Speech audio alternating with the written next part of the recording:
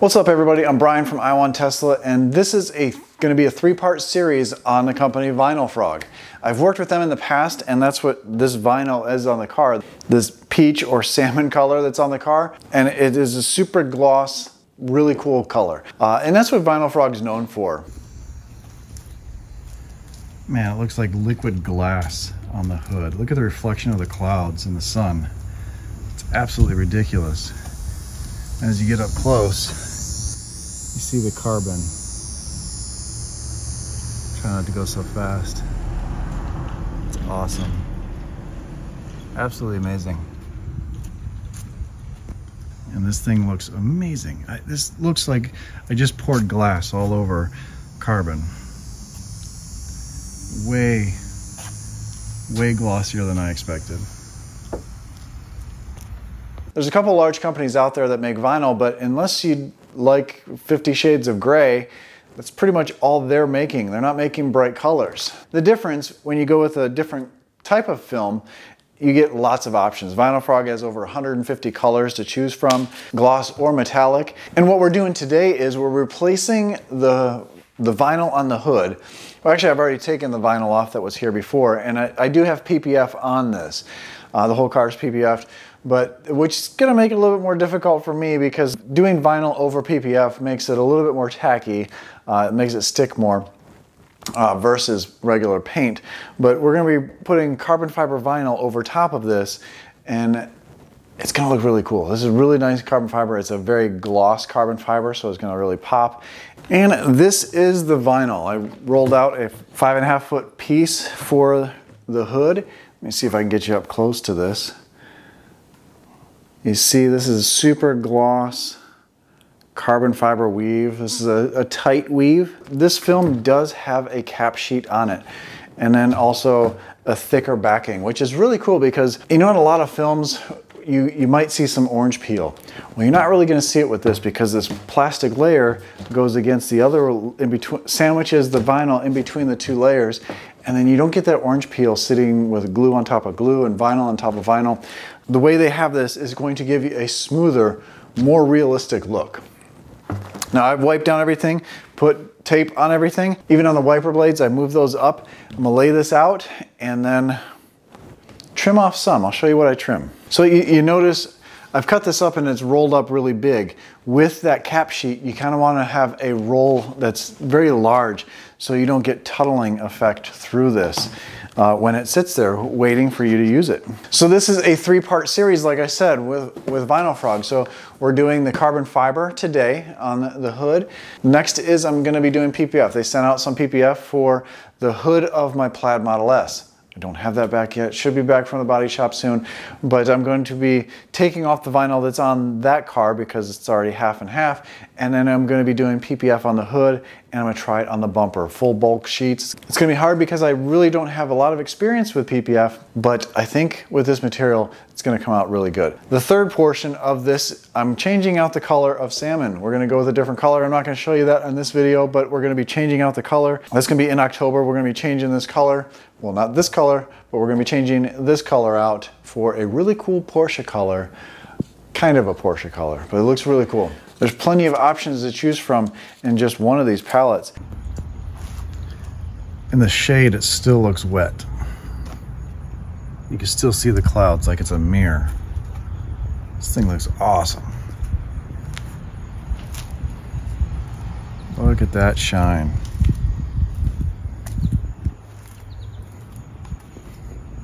So Vinyl Frog is a different type of film. Most films are a calender film or a cast film. The difference being with a calender film, it's not designed for heavy curves on a car. So the Model Y is a nice flat car. It doesn't have too many curves. We do have some curves, especially that trunk. You do have to do it in two pieces. But it's a thicker film. You can get a really super high gloss film with it or high gloss uh, finish and you don't get a lot of orange peel with uh, the uh, this type of calender film. And it's kind of like a hybrid between uh, the two films, and it um, has self-healing properties. So you scratch it, it will come out in the sun, for the most part. You know, you take a key to it, probably not going to come out.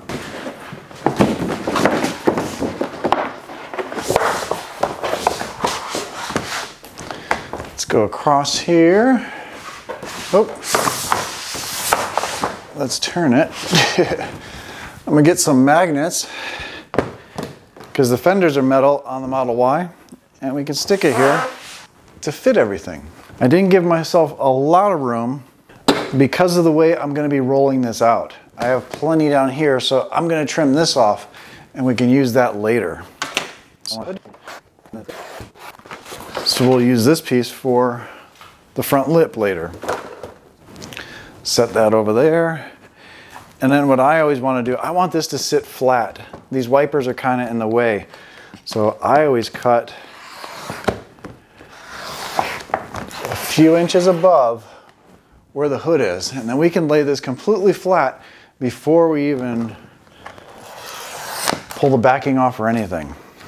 Everything is covered and then now it's ready to pull the backing out and start squeegeeing it down. So at this point you want to take off this cap sheet. It's only for transportation because uh, otherwise it's going to fight you. But you want to take this off a certain way. You want to drag this across the film itself. Because as you're pulling this off, you're creating a lot of static. Static will pull some dust over to it. This kind of minimizes it. I'm actually going to fold this over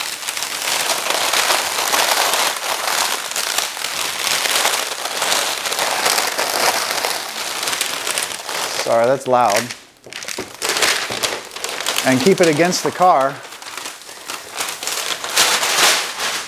And I throw it back there. I don't want the static up front here. I want this to be uh, have no static or destatitized. Is that a word? No, I just I think I made that up. Put that in the dictionary. And now this film is a little bit more manageable because that other that plastic was very very tough. Now let me pull you in so you can see what this looks like.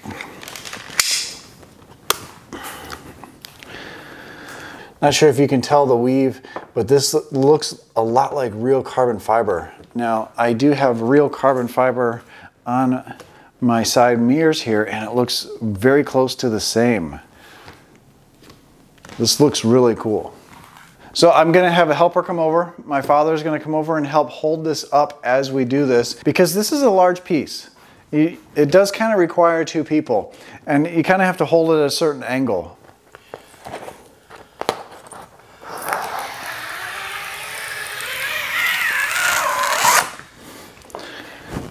So what I did there was I sliced it, but then I want to make a channel so we can stick. So what I did was I took that, that knife and cut a slit all the way down the middle. We're going to pull that off and we can stick that to the car first and then pivot from that hinge to one side and then do the other side. So that's what you need two people for because this is very, uh, the, the glue is very tacky. It's a high-tech uh, glue. Hold this up and then you're gonna, we're gonna set we're gonna set it down but make sure you're covered. Make sure you got coverage there. I do hear here are you there?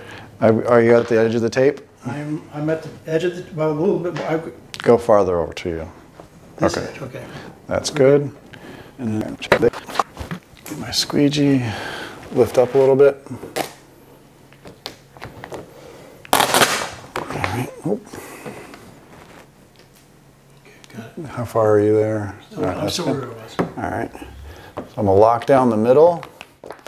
Make sure we got enough here.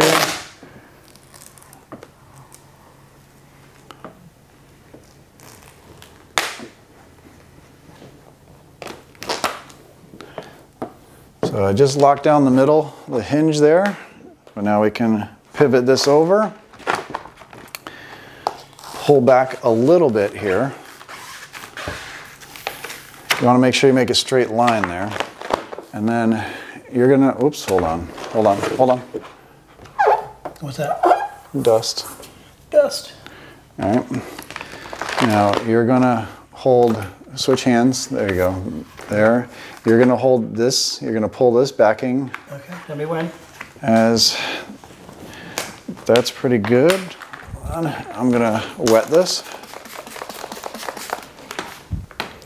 And I'm gonna move the camera over to here because And I'm gonna work in the middle. This film has air, um, air release features, so the air can come out. Since this is a bubble, the hood is kind of curved. Kind of have to work, so pull a little bit more. Pull the backing. Keep going.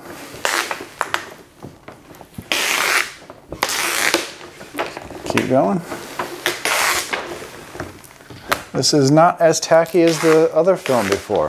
This is actually really good. Yeah, it's not as not as tacky as before. Might be able to do this with one person. Keep going. The water really helps with the soft squeegee.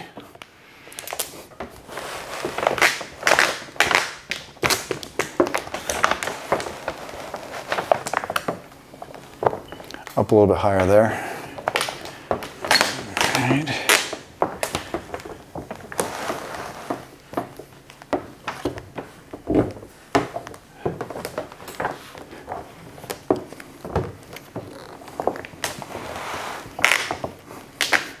Right, pull more. We get some more water. That's pretty good already. Yeah. All right.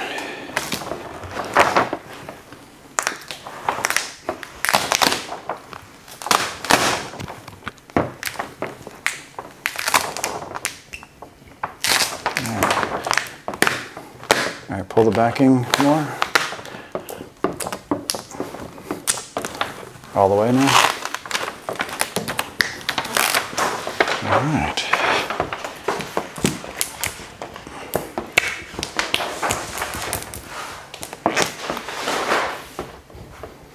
That actually went a lot better than before it did.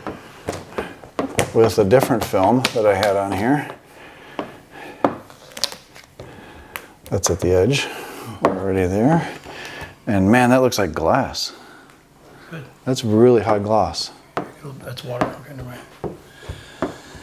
Awesome. That is very high gloss stuff.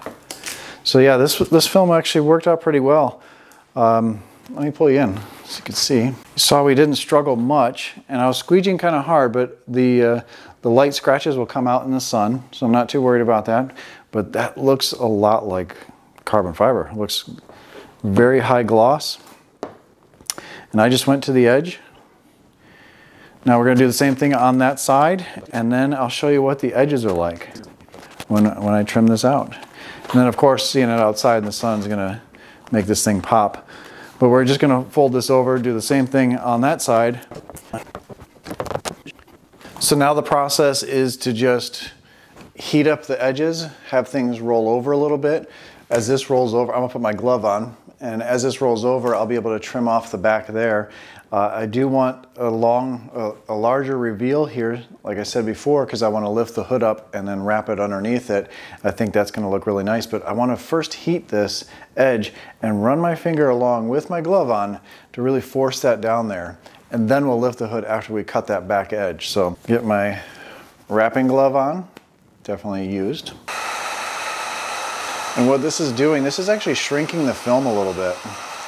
I'll pull you in closer over there after I get this side done.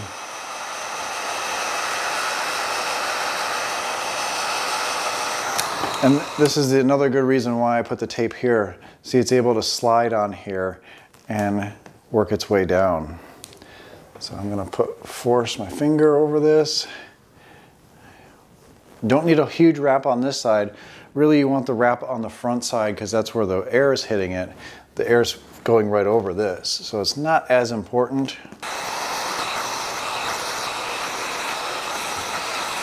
All right, so now we're over at this corner. I'm gonna loosen this corner up, but put my thumb right at the point, and you'll see how much this stuff actually shrinks. So it's loose here and loose on this fender.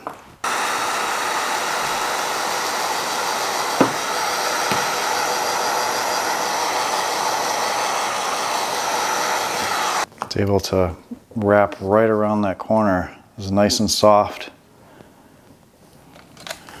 And then continue all the way down here. It's almost like it's wrapping itself around the corner.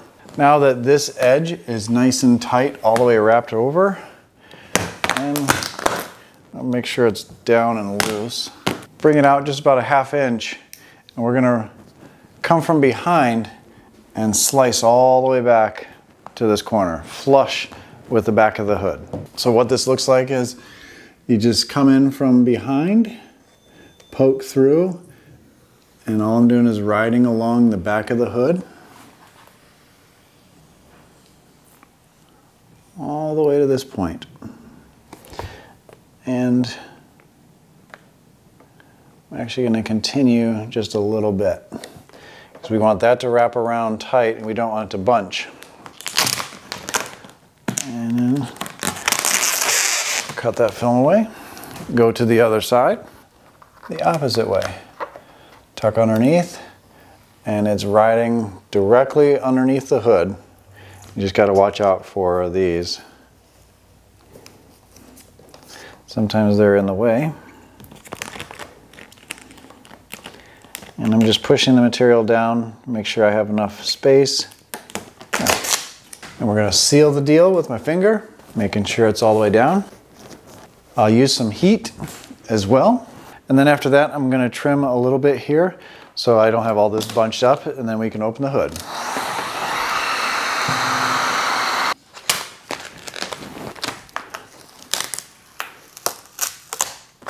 But you want to be able to grab some. So you want to leave some, but you don't want a whole bunch where it's grabbing onto the car.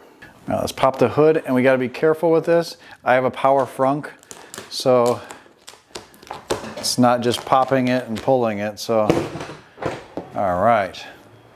Looks like we're all set. So for this, before I use heat, I'm just gonna take my thumb and kind of force the material back down to where it was before we heated it when it was down. And that's gonna allow this to just roll over. I'll start that curve over and then we're gonna take heat and do the same thing and you'll see it just fold right around. It's gonna look cool. Now, I wasn't going all the way wrapping it over because we'd get a bunch of wrinkles. So now at this point, with it still warm, I'm just gonna pull a little bit and then that way we can get a nice straight line and get a quarter inch fold over all the way down. Now that everything's down, we're gonna take our cheater glasses so we can see better, take our knife, and we're gonna click and get a clean blade. This, these blades have all these uh, angles here. These are 30 degree angles. We want to click and get a fresh, we want to click and get a fresh one so we get a nice sharp point because we're not going to press very hard. But what we're going to do is follow that line all the way around using our finger as a guide on there and we'll be able to remove all this film. I'm to barely score the material. And you have to be creative sometimes with your cuts. Going to the corner and pulling carefully.